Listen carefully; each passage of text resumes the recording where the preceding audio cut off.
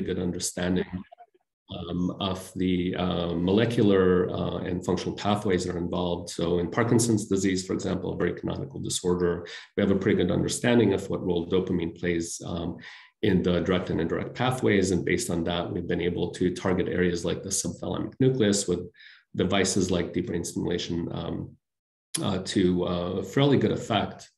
Um, However, there's still many disorders um, that we don't really have a very good understanding or treatment of, and these include things like uh, attention deficit hyperactivity disorder, depression, autism, OCD. And um, autism is actually a very good um, uh, model for this. So, uh, for many of us, we're pretty uh, aware of, of this disorder as social impairment. Um, oftentimes, individuals um, uh, that have autism spectrum disorder have um, preoccupation with self or difficulty in relating to others. They also have uh, different uh, difficulty in interpreting social cues. Uh, such as the emotions or social intentions of others. Uh, but when you actually look at the DSM um, uh, four criteria for this, it really boils down to two main factors. So this includes difficulty with social communication and repetitive behavior. Uh, but as you can see from this, there are a lot of many other aspects of this disorder that are affected. So oftentimes individuals will have mood-related uh, difficulties, anxiety, oftentimes actually language uh, disability is a big uh, factor. And uh, it affects really more than a million, 100 million individuals worldwide. And in the United States alone here, it, it accounts for over a billion dollars per year. Um, but re remarkably, there's still no effective treatments for, for this disorder. And so, um, even though we have a pretty good understanding of the genetic and synaptic mechanisms that are affected at the static level, uh, we don't really understand uh, or have a very good understanding of what are the neural encoding uh, and circuit-based mechanisms that are involved. So, when you actually dynamically interact with somebody, what what actually happens? What are the actual deficits here? And this affects, um, you know, oftentimes individuals with autism have, you know, like I mentioned, difficulty in uh, interacting with others.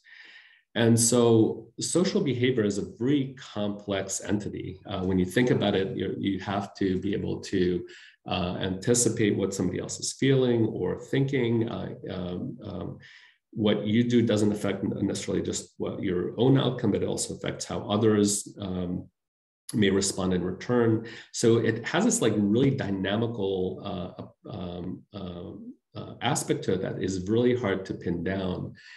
And so one of the things we wanted to do is start getting a good understanding of uh, what are the, uh, the mechanisms underlying social behavior, what aspects are disrupted, and try to introduce a little bit more of a naturalistic approach to trying to understand this as opposed to uh, much as much of, of what has been done in the past in terms of trying to understand, you know, how are the what anatomical pathways are affected or what synaptic mechanisms are affected. Uh, so to start with this, uh, we um, uh, honed in on one specific uh, gene as, as a primer. So SHANK3. So SHANK3 is a is a, a gene on chromosome 22 uh, it's uh, been uh, broadly shown to be involved in autism uh, spectrum disorder, even though it's a very heterogeneous disorder. It accounts for over a percent of individuals with, with uh, ASD. And it's uh, shown to be involved in postsynaptic scaffolding. So this is actually ubiquitous within the brain, but oftentimes it does involve the prefrontal and dorsomedial prefrontal cortices that are known to be involved in social behavior. And the, the, really cool thing about this is you can actually knock it out in a mouse model, and these animals will actually display social behavioral deficits. So, uh, lack of interest in others. And um, if you knock out both genes, um, really bad automatisms. And so, what it's allowed us to do is to start looking at the molecular and anatomic development, developmental aspects of this disorder. Um, but the, how this actually relates to behavior has been a little bit more of a mystery. And so to start addressing this, uh, what we did is we uh, used this, uh, combined these two genetic approaches uh, in which we essentially um, um uh, inverted the PDZ domain, which is the um, uh, SHANK3 anchoring domain of the protein. And we used the Cre-Lox system that allowed us to um, uh, basically knock it out and then reinvert the PDZ domain, restore function in real time, uh, as we're recording neural activity in these animals. So we can actually take animals that have that are developmentally SHANK3 deficient and then restore it in real time and then track neural activity as we're doing this. So I'm not going to get into too much detail about the, the, the genetic approach, but the thing that uh, is really interesting is how does encoding of social information actually evolve over time as we knock out and restore this um, gene. So to do this, we use these floating uh, multi-electron microarrays in the DMPFC as, um, as these animals perform the basic uh, social behavioral task. And we used a number of different approaches uh, for recording, to, including wireless recordings. Uh, we didn't do that specifically here. Um, but uh, as we recorded neural activity in the brain, we introduced this very basic uh, social task in which we could uh, look at three orthogonal uh, social domains. Um, so we could look at the animal's experience valence. So is there something appetitive or aversive happening? Uh, the social agency of that, uh, that experience. So is this happening to me or to somebody else? And then who am I interacting with? Is this somebody else uh, that's familiar to me or not familiar to me? So essentially, as we did this, we had two animals um, basically paired. Uh, we did a whole number of different controls that, that I won't get into into detail. Uh, but we essentially alternated these, these uh, different parameters and re- as we recorded neural activity from their brains. And so what we found in wild type animals is that um, in many of them, this is fairly well known, um, uh, many of the neurons responded uniquely to the animal's own experience. So are they having their own appetitive or aversive experience? And this is an example of a peristimulus histogram in raster of such a neuron. And this particular neuron responded pretty robustly to what was happening to the animal themselves, uh, but had fairly little response to what was happening to the other animal. Now, what was really interesting is we found that a certain number of neurons, um, almost an equal number of neurons, actually responded fairly uniquely to what the other animal was, uh, the, the, other animal's experience, uh, but relatively little to the animal's own. And when you actually looked at this at the level of the population, you found that those those a reasonably equal distribution of the two. So some of the neurons, about half, responded uniquely to self, about half responded uh, uniquely to other, and very few in between. So very few responded um, equally to self and other. Now, these are wild type animals. So the first question we asked is, well, what, ha what happens when you have a SHANK3 deficient animal? So these are heterozygous animals, and uh, specifically we used um, um, uh, a heterozygous as opposed to a homozygous construct. The homozygous animals are, are extremely sick. They're um, uh, they can't really truly socially interact, so it's very difficult to uh, to to work with them. And uh, this uh, is more representative of actually what you see in humans. And so what we found interestingly is that that there was a, a much uh, stronger representation of self uh, in these in these neurons. So a predominant proportion of neurons were very uniquely interested in what was happening to the animals themselves and very few to the other animals' experience. Um, the other really cool thing here is that there's essentially a complete overlap. So there's no neurons that encoded information about other that did not, did not encode information about self. So these neurons, in a certain sense, lost this ability to encode the agency of, of, of uh, self versus other to differentiate between the two.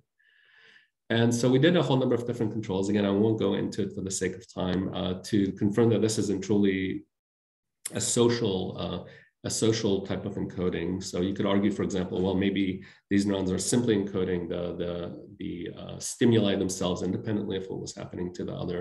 We showed that that was not the case. Um, and so the, the next question is, well, you know, what, what is the actual um, time causal relation, or what is the, the, the, the, actual relation between gene expression, uh, these specific neural encoding properties, and the animal's social behavior? So that, that was one of the links that was really missing. And so to do this, we restored SHANK3 expression in these animals. Um, and what you can do is when you give tamoxifen, you can actually um, activate the, the Cre, uh, Cre enzyme. The enzyme goes into the nucleus, it reinverts the PDZ domain and restores SHANK3 expression. And you can actually follow SHANK3 expression in these animals after giving them tamoxifen. And of course, we did a control in which we had the same Cre-Lox system, but in which uh, there was no restoration of uh, SHANK3 expression for control. And we showed that there was, in fact, uh, gene expression. And then we asked, well, you know, how does this affect their social behavior? Uh, so um, to do this, we started with a very basic um, uh, three chamber test. So this is essentially, many of you may be familiar with this. We mice generally have a, a, a, preference to hang out with another animal as opposed to an inanimate totem.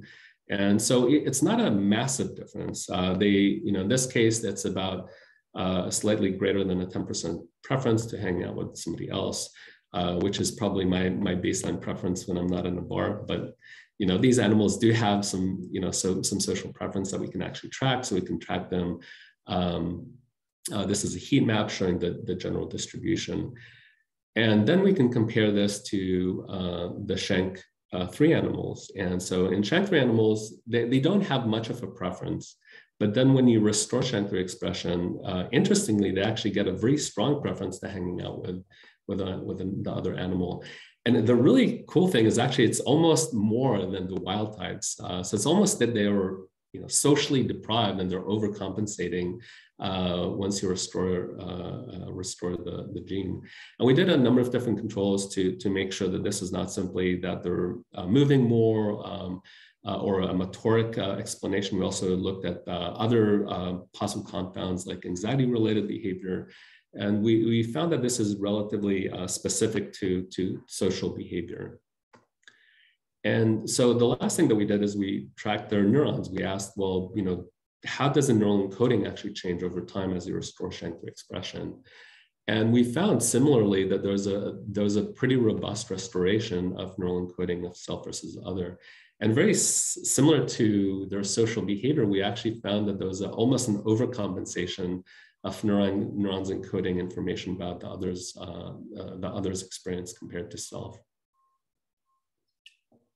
So, so the very last thing is we wanted to actually ask, well, you know, is there a, a temporal dependency between two, between two? And we we actually tracked their behavior over time and uh, and their neural encoding over time. And this was actually an immense amount of work. You had to uh, record neural activity every other day uh, from multiple mice across many weeks. Um, and what we found is that there was actually, as their um, sociability increased over time, so did their encoding of other uh, other others' experience and the self and other uh, related distinction. And we can actually look at the temporal dependency and you can actually see that the, that the change in neural encoding uh, preceded the change in behavior by, by about a week. And you did not see this when you did not restore SHANK3 expression. So for example, you could argue, well, you know, maybe this is just um, something that happens over time naturally, and we did not see that. And so, you know, within functional neurosurgery, obviously you can't really restore a gene throughout the brain, um, but you can restore it focally. Um, so this actually took us a little while to, to, to figure out how to do, but we, we restored their uh, SHANK3 expression also locally in the DMPFC. And what we found is that a, a, fairly similar effect, which was really interesting when you think about it, these animals are SHANK3 deficient throughout their brain. Um, but when you restore um, uh, SHANK3 expression solely in the DMPFC, you saw uh, restoration of, of sociability and, and neural encoding in that area and we I can talk to you a little bit later about you know what we think this may mean. So the DMPFC is one hub within a fairly broad social network, including the amygdala, ventral prefrontal areas, uh, the insula, uh, but we think it's a critical hub really in, in, in, uh, in um, how individuals respond to social information. And we're still, we're using a number of different techniques, um, including uh, RADS to try to dissect the circle a little bit further. I won't go into that right now, looking at how the insula interacts with the DMPFC uh, bidirectionally um, and try to understand how is it that this one restoring uh, neural encoding this one area is able to change uh, behavior so so markedly. Now again, it doesn't necessarily reverse other phenotypes like anxiety related behavior or automatisms, which are thought to be more basal ganglia related and and um, related to other areas. There, there's also really interesting research uh, coming about about the, the role that the cerebellum actually plays in this in this type of behavior. So th- this is again, you know, a, a, really immense amount of work done by by a truly talented group of individuals, including Gabriel Friedman. He's uh, also currently in uh, neurosurgery, uh, Dan Lee and Booney. And so what we think we've been able to do is identify uh, some of the neurons that that um, that are responsible for encoding information about self and other, and um, and how their encoding may be related to autism-related behavior. Uh, and the really interesting and cool thing is that uh, we think we've been able to show to a certain degree that you can that uh, autism-related pathology may be potentially restorable post-developmentally in adult cortical neurons, uh, and so that gives us a little bit of a hook, and hope that this may be something that could be potentially restored in in, in adults and humans. And so, sorry, Steve. So yeah, sorry, go ahead. Kate Watkins asking, what is it tamoxifen doing? Are these male and female mice? So say, um, so say that one more time. What is tamoxifen doing? Are these male and female mice? Yeah, so these are male mice. Uh, so uh, we we haven't um, uh, done this in females, and we are actually starting to look at um, uh, things like competitive behavior in males and females. But it's a good question. So one question is, you know, is tamoxifen simply, you know, causing some effect uh, on behavior itself. And that for that reason, we actually replicated everything. So for example, this slide here, um, everything is exactly the same. Tamoxifen is given to these animals uh, and they have the same Cre-Lox system, but uh, they don't, uh, this does not allow SHANK3 expression to be restored. And so tamoxifen in itself is not actually causing anything to the behavior of the animals. Uh, but um, uh, and I can kind of go back to the slide. So what tamoxifen uh, does here um, is it will attach to uh, a receptor on the Cre-Lox enzyme, and that will let the Cre enzyme enter the nucleus and re-invert the PDZ domain and restore SHANK3 expression. So we're using it basically as, a, as an agent to restore SHANK3 expression through this Cre-Lox system, uh, which are essentially floxed here. Um, but tamoxifen in itself does not, you know, is not doing anything to, to the animal's behavior. It's a good question about females though. Uh, and it's, you know, some, that you may see an independent different effect uh, if you do it in females, but we haven't done that.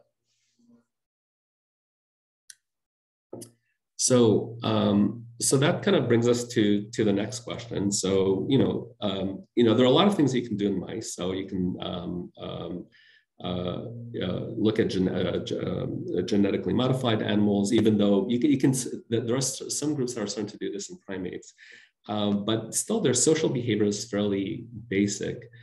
Uh, and there are a lot of things that doesn't really recapitulate how you know higher primates or humans um, uh, really behave. So uh, within primates and, and, humans, we, we kind of like dynamically interact naturalistically with others. Uh, there are a lot of things that you can ask about, you know, how social decisions are made in, in, in these animals, uh, like action predictions, things like theory of mind, uh, higher level uh, cognitive processes.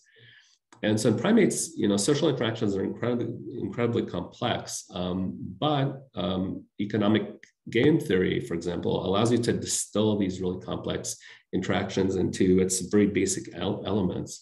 And so some of you may be very familiar with, with uh, uh, economic game theories like uh, the prisoner's dilemma game. And this is a really interesting game because it, it, it essentially involves two individuals uh, and they have really two very basic choices. Do I cooperate with somebody or do I defect? And so based on these really basic uh, elements, um, you can start dissecting and, and asking very interesting questions. So for example, if two individuals cooperated, they would get the highest mutual amount of reward. Uh, but the, the dilemma here is that if one individual defects and the other decides to cooperate, the one that defects actually gets by far the highest amount, and the one that tries to be a good person and cooperate gets the least amount. Uh, but the linchpin here is really also that if both individuals defect, then they will get a much lower amount compared to when they both cooperate. So the interesting thing here is that uh, when you set it up in that way, outcome is really contingent on the interaction between uh, two individuals. So no one decision can guarantee an individual's reward, unlike many of you know other behaviors that we we, we do of day to day. And both decisions can be either concordant or discordant. So based on this very simple paradigm, you can start dissecting elements related to the animal's own decision, the other's decision, um, and you know their outcomes and the interaction between the two.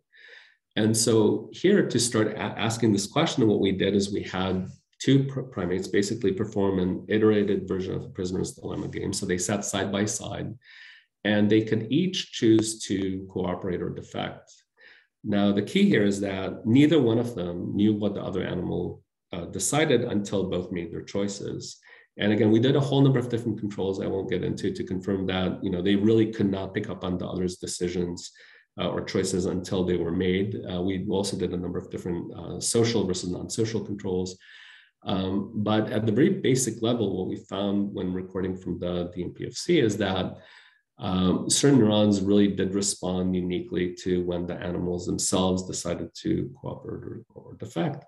Um, but really interestingly, we found that um, many, uh, many of the neurons actually responded uniquely to when the others uh, decided to cooperate or defect. Now, the thing that's not intuitive here, and this is a peristimulus histogram and raster of this, is that the other animal's choice did not happen up to almost a second afterwards. So these neurons were uniquely predicting what the animal, other animal was going to do before they did it. Um, and so the, the, cool thing is you can actually also look at the population response, and this is a, a um, uh, PCA basically looking at all the neurons recorded simultaneously for an individual monkey when the other animal cooperated or defected. And this is the projections of the discriminant component from a, from a Fisher discriminant. And these are essentially the projections for individual trials where the animals predicted correctly based on neural activity what the other animal was going to do before they did it. And when you compile all this, um, the uh, prediction accuracy was, was actually reasonably high. So it was around uh, 80% correct. Um, and when you actually compared it to the optimal uh, behavior that you can predict based on the other animals' past behavior and their mutual interactions, we did a number of different things, um, uh, you know, like GLMs and uh, uh, regression models. And we found that consistently that uh, almost the most that you can predict was about 80% um, or slightly higher. So, so even with this fairly limited number of neurons, you could almost optimally predict uh, what the other animal uh, was going to do, which was really interesting. And so that, that kind of like brings us more to, you know, the, the broader question. Um, so when when we interact, we often interact within you know large groups, and the, this is really naturalistically what many of us do, both you know in primate societies, often are made out of many many individuals that where they need to uh, you know understand who did what to whom and how. Uh, we as individuals, you know, we communicate with many others. We we have these really broad social networks, and so the, the computations are involved are not simply, you know, is, you know, is this me or anybody else, but it's really, you know, who am I specifically interacting with? Uh, you know, group behavior has a lot to do with economic and, and social behavioral theory. Um, by looking at groups, it also start it allows you to start asking questions about, you know, social identity, like who am I specifically interacting with? Uh, it, it, lets you start asking questions like, you know, reciprocity and reputation. Uh, what are others, you know, in the group collectively, specifically doing? And it lets you start mimicking some of the thing, uh, some of the elements that are more relevant to to natural human behavior. So, so this is kind of what we did, and that we've been working on this for the last, you know, five years or so. And it was in, incredibly actually a hard thing to to uh, to do uh, for any of you who who've you know ever played with primates. Um, and so what we converged on is this um, setup where we essentially had three primates uh, sitting around a rotary table. And at different trials, uh, one of the monkey, uh, one of the animals could offer reward to one of the others. Now, the interesting thing here, though, is that it's it's even though it's deceptively simple, it lets you ask really interesting questions. So, for example, if monkey three gave reward to monkey two, monkey two may be you know very happy and may reciprocate and give reward back to monkey three. But you know, it could be that monkey one gets really annoyed, and you know, how come I didn't get the reward? And he may retaliate by giving reward to monkey two as well. But then you get this wealth disparity, uh, and you can look at things like Gini coefficients, like the wealth distribution across the group. And so, you know, monkey two may be getting over reward, and this may create this imbalance. So, you know, even even though this is a fairly you know simple paradigm, it lets you start asking really complex questions. And so we also did a number of different controls to disambiguate the, the direction of movement from who is actually specifically getting reward. Uh, we also uh, changed the other animals' locations to uh, disentangle the, the spatial aspects of um, where the other animals are sitting. And we also uh, randomly changed the sequence of who was the actor, who was getting reward and who was receiving it. So as we did this, we also recorded from the DMPFC. And the first thing that we ask is, you know, does their behavior actually make sense? And you can actually track their behavioral dynamics over time. And again, without getting into into too much detail, we showed that the animals actually did behave, um, uh, uh, you know, appropriately in terms of uh, their um, reciprocation, retaliation, uh, things like tit for tat behavioral strategies. Um, and that you know those behaviors were, were largely um, uh, absent when they when they did not uh, uh, uh play with other social agents. So the um, the first thing that we started to ask is, well, you know, what are the neurons doing in the DMPFC as they're playing these uh, uh, playing this game?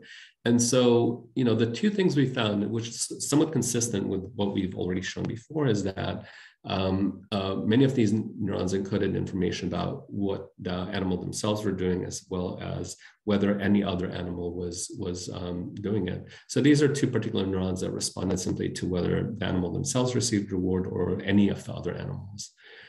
But the really interesting thing is that we found that a certain fraction of neurons actually responded very uniquely to whether uh, a specific other animal received reward. So this particular neuron did not simply uh, care about whether any other animal received reward, but specifically whether one of these animals received reward and displayed relatively little difference in response to, to any other.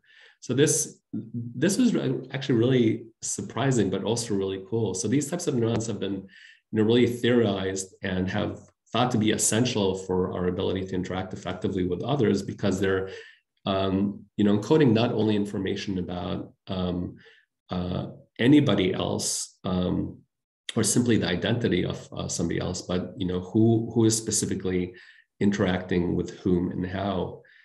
And so you can actually track these neurons. So when, one of the first questions would be, are, are these neurons simply responding to uh, simply, you know, any other uh, individual or any other location? And so we can actually switch these animals so we could switch our locations. We found that these types of neurons actually tracked the other animals specifically.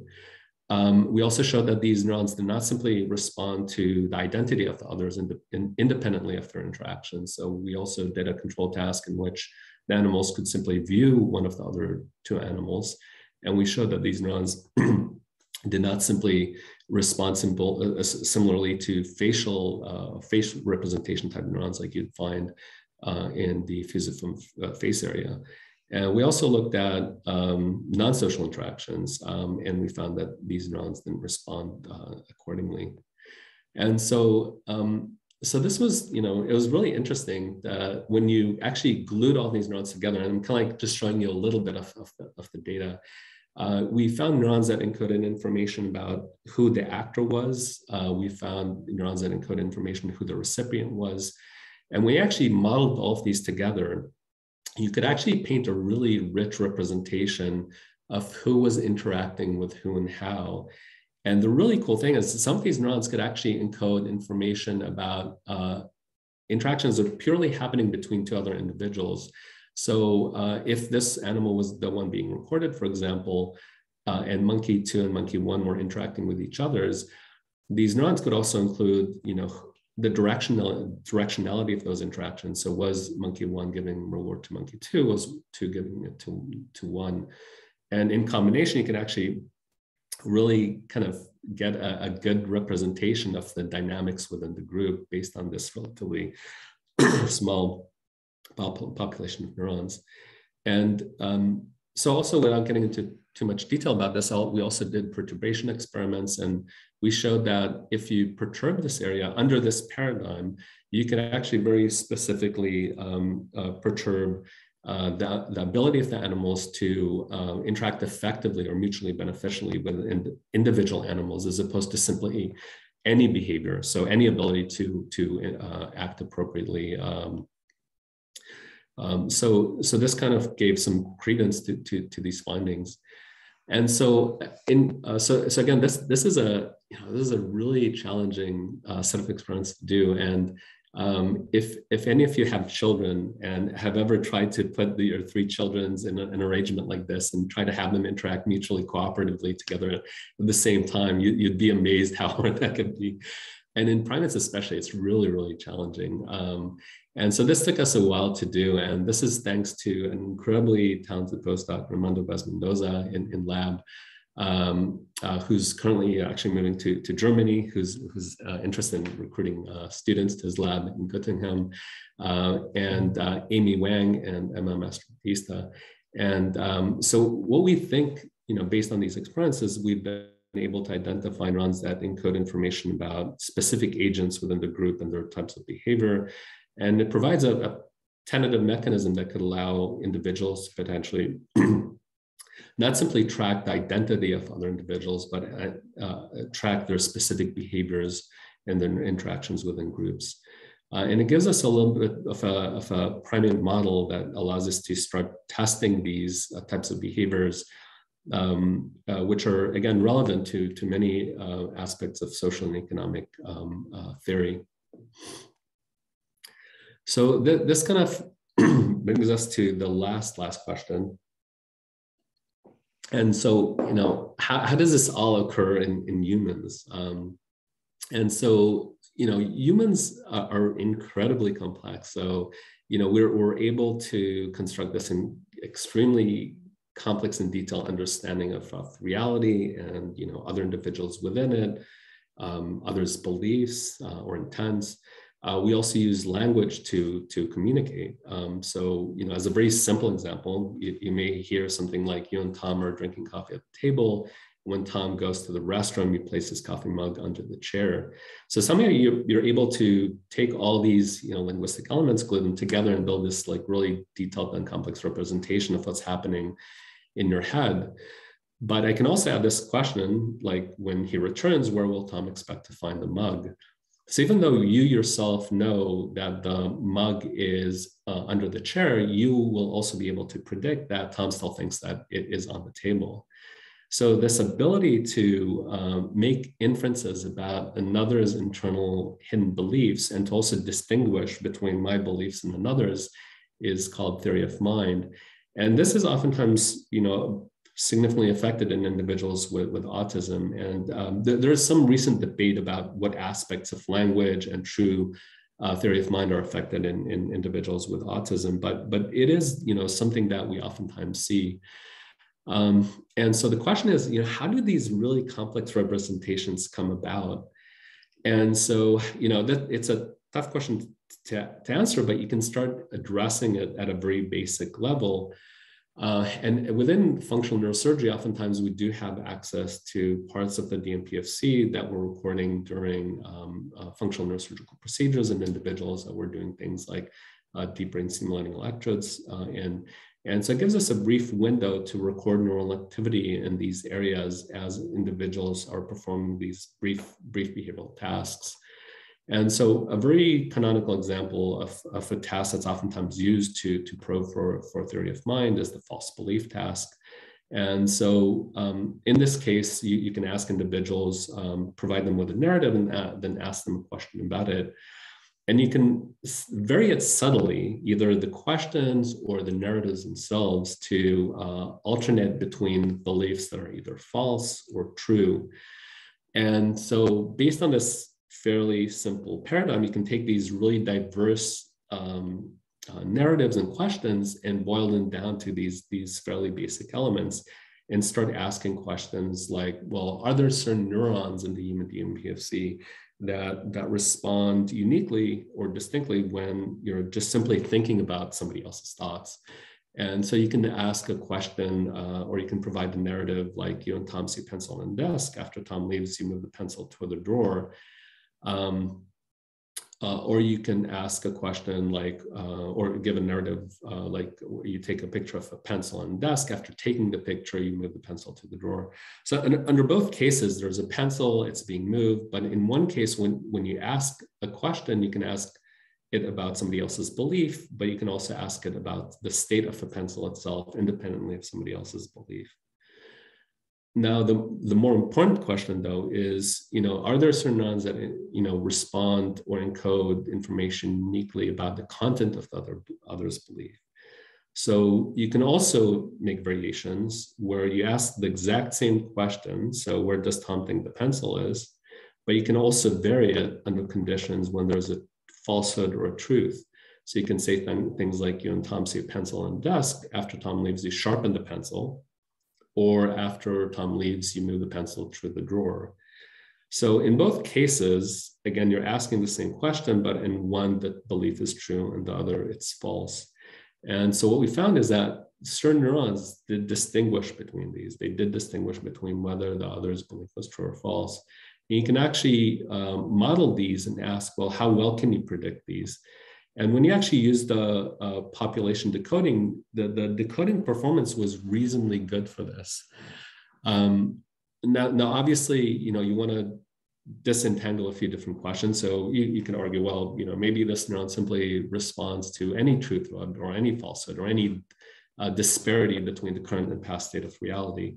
So you can also ask, you know, introduce narratives where there's simply an object that changed in location or that there's a disparity uh, or, or, sorry, not a disparity, but a, um, a distinction between uh, present and past events. And we found that most of these neurons were uniquely responding to either uh, uh, the other's beliefs or to simply more of a basic physical representation. And there's very little overlap between the two. Um, you could also you know that the, the really cool thing about language is you can make also these very subtle manipulations in the narrative to to change you know what the other's belief was. And so you can do things like um, uh, make a subtle change like you and tom see pencil on the desk after tom leaves you move the pencil to the drawer as tom watches through the window.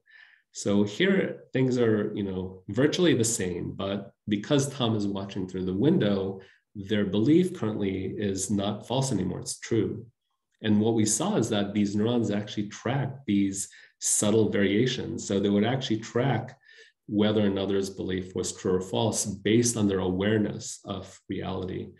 Um, and so you can do all these other really cool manipulations I'm not going to get into. We could actually like delve into, delve deeper into what are the actual items that the, the, the individual was thinking about. Was it a pencil? Was it an apple? Was it a a mug. Uh, we can kind of combine them into these different categorical representations. And we could start asking questions about, you know, how finely detailed can, do these neurons actually track uh, the other's beliefs? And we were actually surprised when you actually combined all these neurons together, they, they actually uh, had a really detailed and rich representation of, of the other's beliefs. Um, now, clearly, these neurons are not working in isolations. They're, you know, they're presumably communicating with other areas like the TPJ uh, and other temporal or prefrontal areas to, to build these really complex representations. So what we think these neurons are doing is that they're providing a readout of these, of these critical elements that, that are representing uh, the other's beliefs. And so, so this kind of brings us to the very last question and something that we've been super, super interested in um, and uh, so, you know, one of the things that humans can can do that animals generally cannot do is is language. And language, you know, it's it's a really complex thing when you think about it. Uh, so somehow, you know, as I'm talking to you right now, um, you're able to kind of extract these, you know, really complex, you know, phonetic acoustic elements from the air, put them together, kind of combine them into these lexicosemantic representations uh, that have meaning and then glue those together into these sentences and put them all together in your head to try to figure out what it is that I'm, I'm saying. And so in part of the brain, that's um, um, uh, within the left frontotemporal network um, that we oftentimes do have access to when recording neural activity is, is known to also be involved in language uh, perception. And so, you know, as, as individuals are processing these sentences, what one of the things that we're very interested in trying to understand is how, you know, how do these neurons respond to these, you know, complex um, meaning representations? And so, for example, when you hear the child bent down to smell the rose, how does this actually manifest uh, at the level of neurons?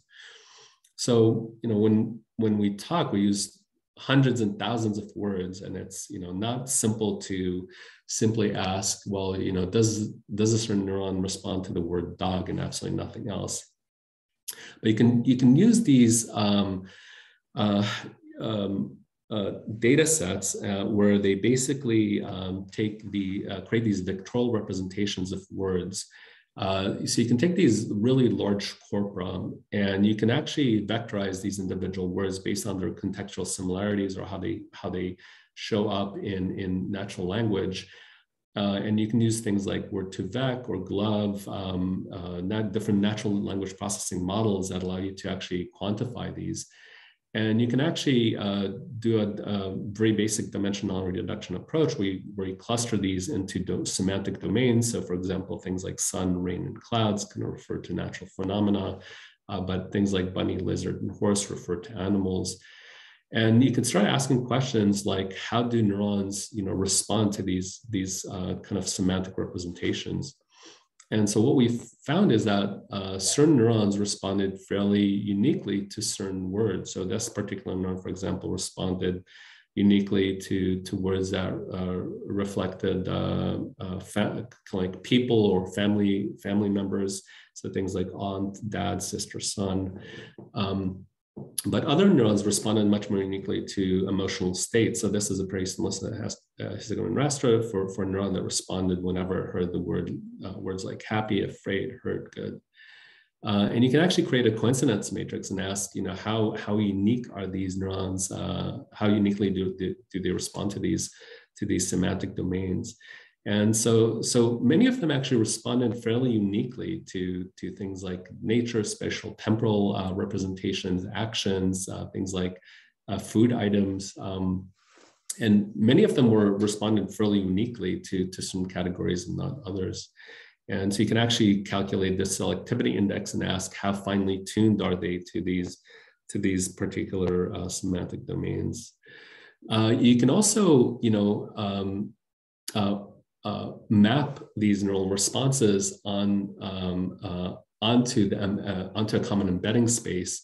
Um, and uh, if you actually regress neural activity onto the model uh, onto the embeddings, uh, you can create the you can um, estimate the modeled weights that describe these words, and then you can project them back into PC space, and you can actually ask, well, how does the brain represent cloud compared to dad?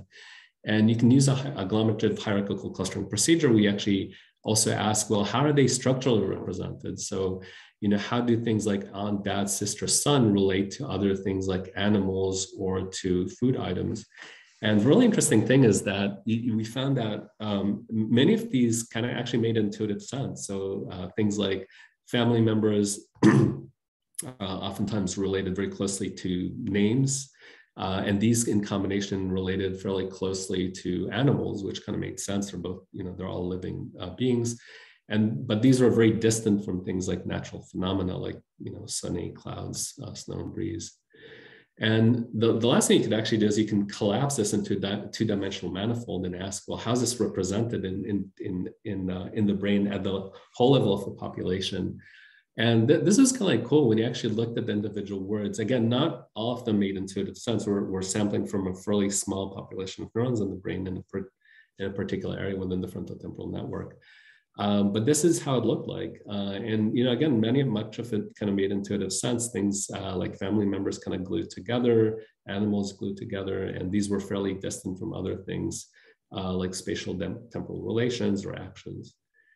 So, um, you know, these are things that are still in progress. We're just starting to look at these, uh, but you know, obviously, don't just listen to words in isolation. You, you listen to them uh, within kind of these very complex sentences. So, for example, Sarah paints a drawing of a red treehouse in the backyard, we can actually start asking questions about, you know, are there certain neurons that respond uniquely to the, the, um, the, um, uh, the linguistic dependencies between these words, how they all connect.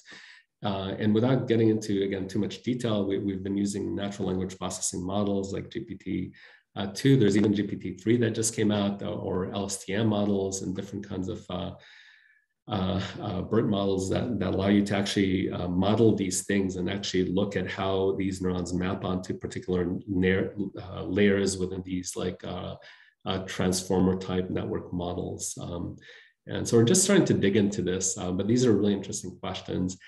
And so it kind of speaks to, um, you know, how we can take these naturalistic type approaches to start as, asking questions about, you know, how do um, animals and, and humans uh, approach this really complex social information.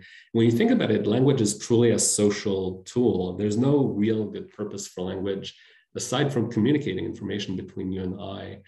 Um, and so, you know, there, there, are a lot of really interesting studies, uh, more recently in functional MRI studies showing a, a, you know, a fairly significant overlap between language related areas and social related areas, which kind of makes sense. So I'm going to skip um, uh, so again, this was done also by an incredibly talented group of individuals, including uh, Ben Grannan, who's, who's currently a neurosurgeon, uh, functional neurosurgeon at, at, the University of Washington, Mohsen Jamali, who's instructor here. And um, I'm going to skip some of the other things that we've been really interested in in functional neurosurgery and trying to kind of understand social behavior and trying to modulate it. Um, but um, I just wanted to leave some uh, some room for for questions um, and, and, some insights into you know where to take these kinds of uh, questions uh, further uh, using like naturalistic type approaches to studying social con cognition. Um, but but at a very broad scale, uh, you know, this kind of paints a, a, a very uh, broad view of what we're trying to do in terms of trying to develop a systematic approach for functional neurosurgery, where you start at a very basic um, molecular and genetic level up to the level of individual neurons, using animal models and, and ultimately trying to understand human behavior. And my son is just turning into a teenager, so specifically understanding teenager behavior, which is a complete mystery. And so, you know, we think this has uh, application to other, um, to understanding other diseases uh, such as ADHD, depression, OCD, anxiety. And uh, like I mentioned before, a lot of these elements are involved in social behavior as well. So again, you know, this was done by an uh, work by an incredibly talented group of individuals. I'm, I'm, so lucky to be with them in lab. It's just a complete pleasure, you know, every day uh, to to uh, uh, be in lab and just hang out. I don't have my own personal distant office. I kind of hang out with lab in lab with everybody else and just hang out and we go out and have fun. Uh, so it, it's uh, it's a real pleasure to you know to to be invited here. Um, I, am a big fan of much of your work. Um, and so um, I, will leave this open to some questions. Hopefully we have enough time. Thank you very much, Ziv. It was extraordinary talk. Um, so sure there will be questions, but people take a little bit of time to ask the questions. So before that, can I ask a question itself? So in, in the last part, the language part,